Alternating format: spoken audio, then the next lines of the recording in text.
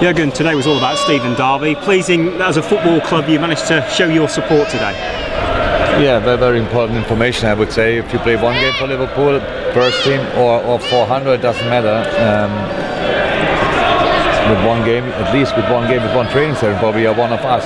And that's what the, play, what the club showed today. And um, his actual club um, showed it as well. So really nice opportunity for us to show uh, the support for Stephen and his family. What did you make of the game itself? Because it was a changed teams in, in both halves.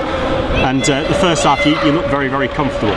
Yeah, the first 30 minutes, I would say, we were very confident. Did the right things in the right moment, and he lost rhythm and didn't get it back. To be honest, it was a bit uh, looked a bit more rusty. That's how it is in pre-season very often.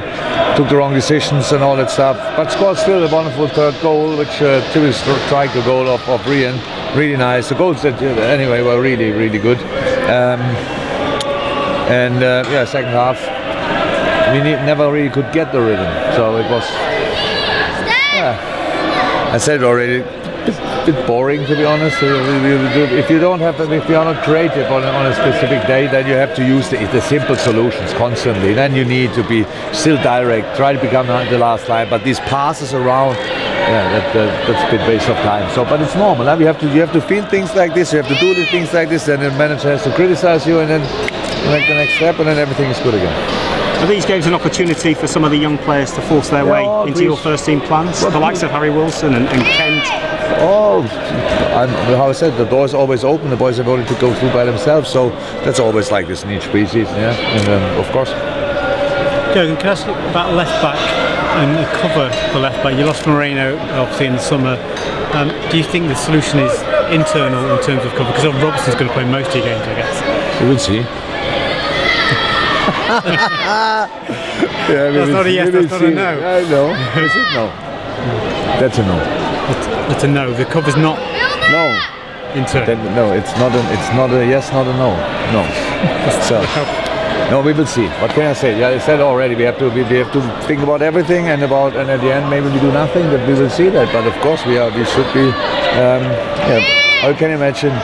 We, we, we, we have a look on all the things around us yeah, of course we lost a left back, but we have today you saw two pretty young ones.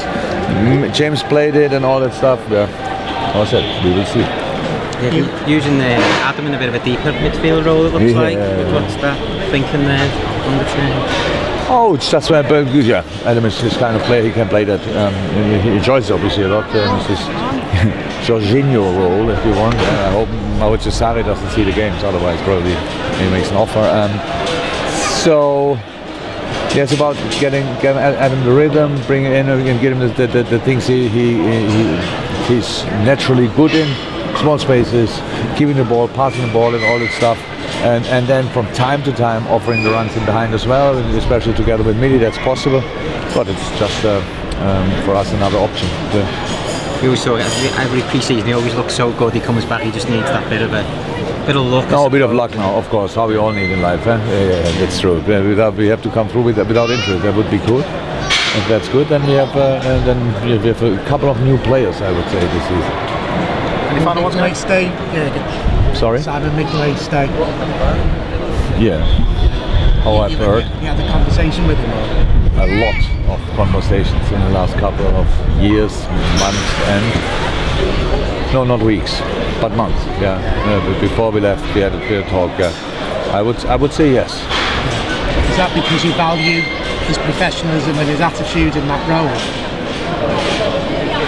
Yeah, it's. I think it's because uh, as a club like Liverpool, you need two number ones at least um, in the club because um, and we have that. That's cool with Ali and, and Simon. That's a very good situation for the club, but a, a situation I think you should have and um, that's why everything is fine from my point of view. Last one, guys. Bradford want to win today. How are you going to prepare for the season where everyone wants to win against the European champions? to be honest, I didn't. Last year we were second in Europe, but everybody wanted to win against us. So I, I can't believe that uh, when, I, when we went to Newcastle, I thought, okay, what are we playing here today for? It was really intense. Uh, felt like a World Cup, and um, I don't think there's can come more even, but it, it, will be tough like always. Like always, it's as Liverpool. That's I had to learn that pretty quick. With the, your Liverpool team, you go somewhere, they're all really on their toes. Um, that was never different. Yeah, but we will be prepared for that for sure. Thanks, guys. That's You are welcome.